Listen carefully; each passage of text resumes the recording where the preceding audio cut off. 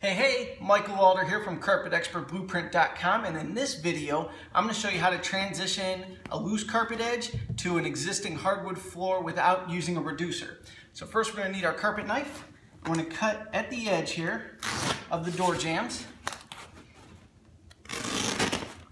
So our carpet will flop down.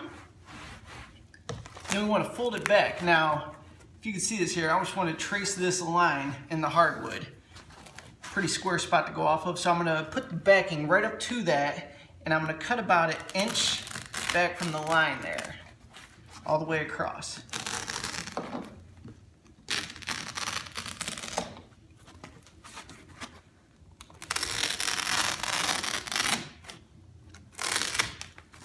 So now our carpet is actually sitting about three quarters of an inch to an inch past that line that we wanted to end it at. Now I wanna roll it under just one fold under, all the way across.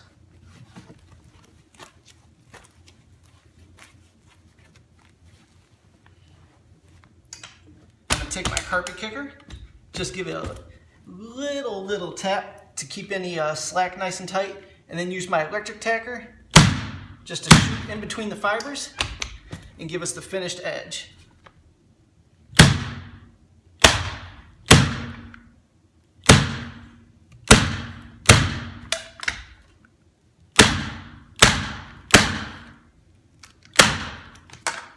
Same thing on this side.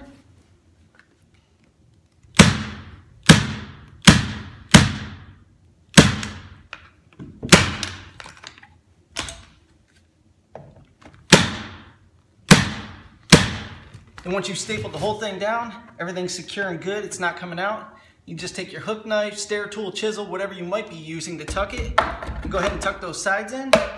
And that's it. We got one loose hair there. Remove that with your knife two loose hairs. Remove that. That's it. That's how you finish the doorway. Simple as that. So I have another video coming up where I'm going to show you how to install transition pieces and set the carpet inside of them. Thanks so much for checking this out and be sure to stay tuned for the next one.